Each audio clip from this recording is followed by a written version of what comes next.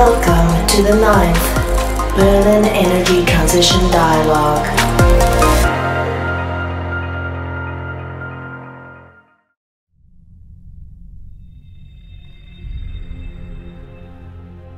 The world is in a state of crisis. Rising energy prices, limited access to energy, and increasing geopolitical tensions stress the limits of a fossil based energy system. The climate change intensity will only continue to become more relevant and more critical in all regions of our single shared planet. More and more people recognise the importance of change the case for the global energy transition has never been stronger.